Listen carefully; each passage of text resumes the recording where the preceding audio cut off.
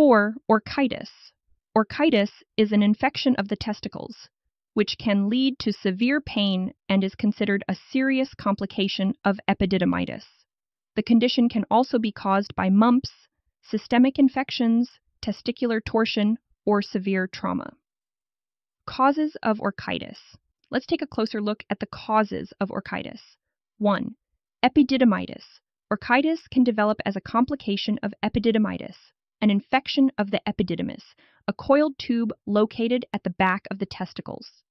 2. Mumps. Mumps, a viral infection, is known to be a cause of orchitis, particularly in young boys and adult men. 3. Systemic infection. Orchitis can also result from a systemic infection, where an infection spreads throughout the body. 4. Testicular torsion.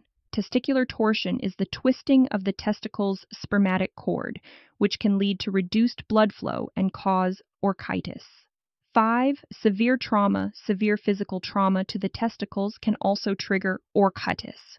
Signs and symptoms. Now let's explore the signs and symptoms of orchitis. 1.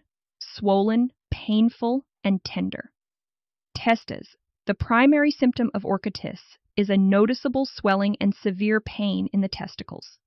2. Redness and edema of the scrotum. In addition to testicular pain, the scrotum may become red and swollen. 3. Fever and prostration.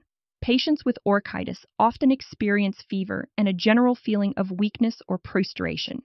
Treatment 1. Bed rest. Rest is crucial during the treatment of orchitis to allow the body to heal. 2. Elevate and support the testes.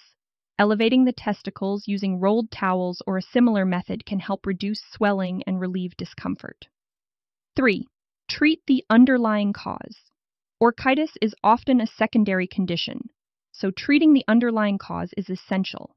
Antibiotic therapy may be prescribed if the infection is bacterial in nature. 4. Hot and cold compresses. Hot and cold compresses may be applied to the scrotum for symptomatic relief. This can help reduce pain and inflammation.